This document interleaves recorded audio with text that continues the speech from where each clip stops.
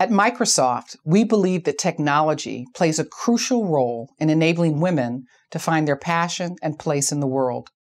When women are empowered in society, the result is greater innovation and the advancement of local economies, benefits for the individual as well as the larger community.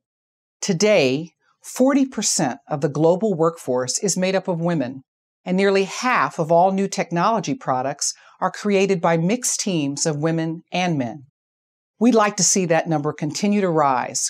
Women should have a strong voice in the design of new programs and technologies, and in the way that these solutions impact the lives of women around the world.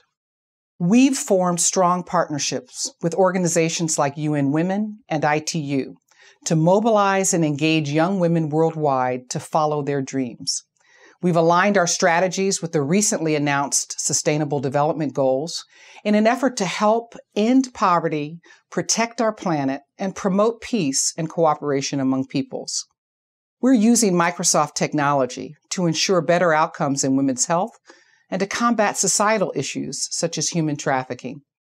We work to empower women across the globe to pursue their education and create economic opportunities by providing access to technology and the tools needed for success. And we consistently evaluate our programs and organizational priorities to ensure we're making the most impact.